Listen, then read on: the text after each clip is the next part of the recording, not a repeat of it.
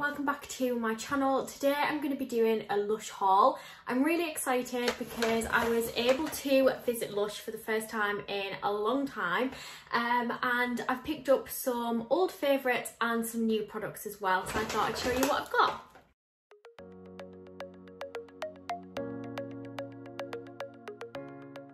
Starting off with one of the new products that I'm most excited about, it is the Glen Coco face mask.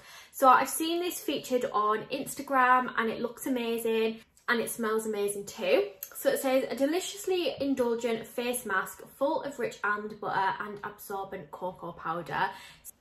So yeah, can't wait to try it. The coffee mask they do is my current favourite, so I'm interested to see whether this will replace it.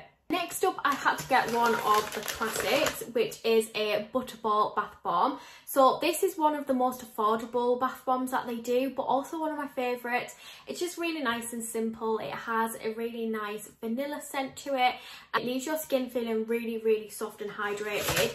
So for me, um, I suffer with eczema and sensitive skin. So I know that when I use this, it's not going to flare anything up um, and it's going to bring back some of that moisture to my skin as well. Next up, I got one of their Charity Pot hand and body lotions. For some reason, this scent kind of feels nostalgic to me. Um, a few years ago, I was obsessed with Lush. Like, I still am, but I was borderline addicted to it and the only products I used was Lush, even makeup, skincare, bath and body shower, even hair care, it was all Lush.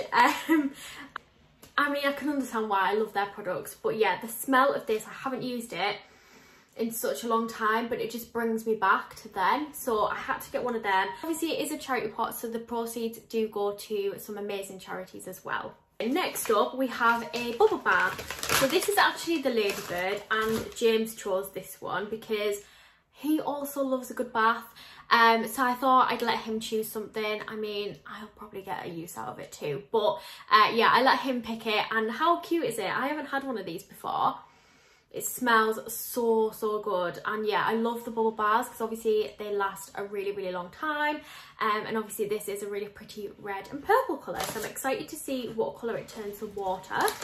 Okay, next we've got another bath bomb. And again, one of my favourites.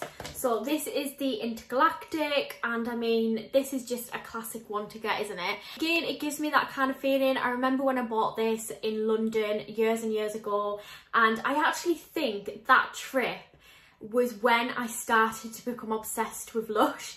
Um, but yeah, anyway, this is one of my favourites. Obviously, it makes the water the most gorgeous blue colour. It's got a bit of pink and yellow in there, a bit of shimmer. It is so cute. And also, I think the shape of it's changed because I believe before it was just a round one, whereas now it's got this kind of like funky shape on the front. So yeah, had to pick one of those up. And last but not least, they also included some little samples.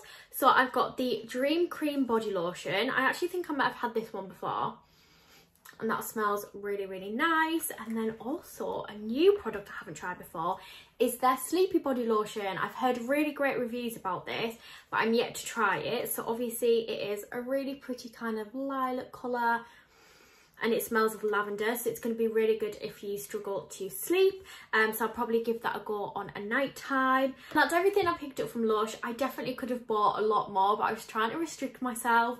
Um it just felt so nice to actually visit the shops again um i'll probably do another order or visit at some point i do really want to try their subscription box as well um, if you're not familiar, Lush have started a subscription box um, and I'm really interested to give it a go. So let me know what you think, if I should try it, if you've tried it. And if you haven't already, please do go and subscribe.